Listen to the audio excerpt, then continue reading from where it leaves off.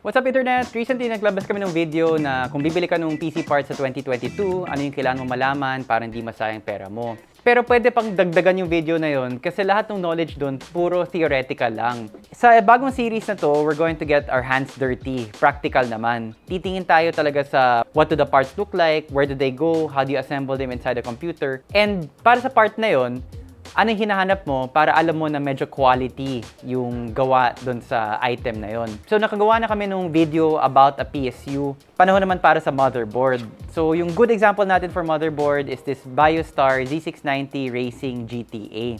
Z690 is for the latest 12th gen builds. This is what a typical motherboard box looks like. Paminsan may mga customers kami nagtatanong na ba't hindi sealed yung motherboard box. Kahit brand new yan 100%, hindi usually nakabalot yung motherboard box. It's in an ESD bag. That you call that ESD, yung electrostatic discharge. So what we usually do before we touch any part is we ground ourselves. You touch a metal part, so I'm touching the metal part of this case, para ma-discharge any excess energy that's on me. Although itong particular BioStar Z690 motherboard, uh, sinasabi ni BioStar na may ESD protection na siya. Uh, I haven't tested that personally, pero good to note the claim ng manufacturer na naka-harden na to against ESD. Yung maganda about itong particular BioStar motherboard, it has PCIe 5, which is the latest PCIe gen. Hindi ko pa nga na-accept na PCIe 4, may PCIe 5 na. It has two M.2 slots. So, again, very typical of current motherboard design. Dito yung first M.2 slot. Yung slot na physically closer to the CPU, that's where you want to put your fastest NVMe drive. Doon sa mga design ngayon ng mga motherboards, yung pinakamalapit na M.2 slot, siya yung may parang direct pipeway to the CPU. So, this particular slot has faster access. Pabigat ng pabigat yung mga GPU, especially yung mga high-end. So, a lot of the manufacturers now are making their PCIe slots sturdier using metal like this. Slots para sa RAM nandito sa kanan ng CPU. The upper center part of the motherboard is where the CPU goes. This is an ATX motherboard. Usually, apat naman talaga yung DIMM slots o yung RAM slots sa ATX motherboard. Dito din sa isa pang sample natin, you'll notice exactly the same. Pero sa ilalim nito, nandito yung CPU. Sa kanan ng CPU, nandito yung apat na DIMM slots just like our model BioStar Z690 motherboard. Generally, the more higher-end motherboards have a lot more capacitors. Yan yung mga bilog na mukhang tower dito sa side ng motherboard.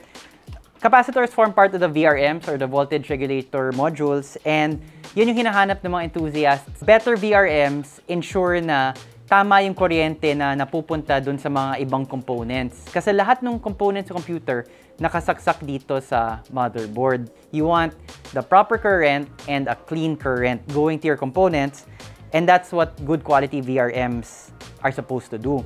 Pero since VRMs deal with current, umiinit talaga sila. And yan yung current design ngayon, parang yung left part nung CPU where a lot of the VRMs naka-armor na siya. Some manufacturers call them armor, some brands call them shielding, but basically they do look like this. Ganon din siya dito sa MSI motherboard. Armor is just marketing blah blah, pero yung maganda dito, usually may extra cooling. Umiinit talaga yung mga VRMs. Good quality motherboards have good quality cooling for their VRMs. You notice nga dito sa BioStar Z690, may fan dito. And hindi lang dito, karaniwan naman usually yung ibang manufacturers naglalagay talaga ng fans para hindi lang passive cooling VRMs. May fan dito, pero um, in something unique to this BioStar Z690 Mobo, ngayon ko lang pa ito nakita, may dalawang cooling fans pa dito sa taas ng CPU. So, now you know what a motherboard looks like. How is it usually installed? Sa likod nung lahat yung motherboard. So, the motherboard is directly screwed into the case. So, let's do that now. So, this is a Cooler Master H500 ARGB. And usually you want the case flat. Alright, So you notice these are the risers of the case. You don't want the motherboard actually physically touching the case because this is metal, the motherboard is metal. Magsho-short yan. Uh, it's, a, it's a very bad time. Kung mangyari yun, uh, it's catastrophe. So sobrang mahalaga tong mga yung risers dito sa case. So we put the case flat. Yung I.O. segment ng motherboard, dito talaga sa slot na naka-prepare na for the I.O. segment. So you line it up first with the I/O segment, which is usually here on the top of the of the case. Once naka-line up na siya with the input-output segment of the motherboard dito sa prepared cutout nung case, you'll notice na usually naka-align na yung risers sa design ng motherboard. Kasi motherboards, may mga butas din yon para maka-align dun sa riser sa case. We're aligned here for the I.O. segment. We're aligned dito sa riser, dito, dito. Once naka-align na yan, then you secure it with screws. So you put a screw here, here, here, sa lahat ng mga butas ng motherboard na naka-align dun sa risers of the case. So once naka-align na yan, and you screw it in, you can make the case right side up, tapos ganito na siya.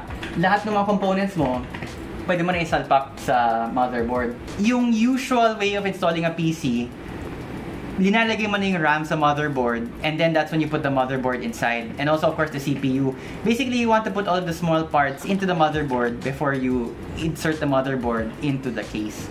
And then you'll have to deal with the power cable. So this is the 24 pin main power to the MOBO Uh, you'll also have to deal with the power of the peripherals and the GPU and any RGB you have. Medyo pare-pareho lang naman yung designs of motherboards lately. So you'll have the SATA bank here, the main power here on the left, and then here are the various USB cables. These are the, usually nandito yung ARGB headers for your RGB components. Dito din yung, these very little headers for yung power switch on the case and the reset button and the indicator light button.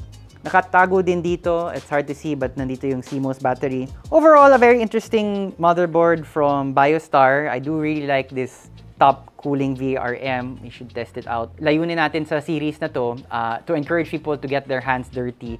If kung hindi ka mag-assemble, at least you know what a motherboard looks like, where all the different parts go, paano siya pinapasok sa case, para patuloy natin ma-demystify yung mga PC components. Thanks for watching.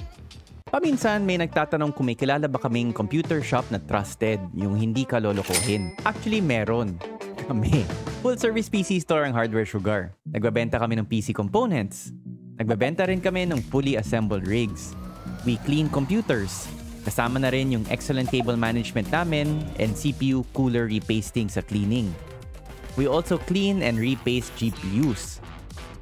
Nasa Makati yung physical store namin and you can also buy from our site www.hwsugar.ph na 100% palaging up-to-date yung inventory dun. Kung in-stock yung item sa amin, available yun sa site. We also ship nationwide. Thanks for watching and maybe one of these days magkita tayo sa shop.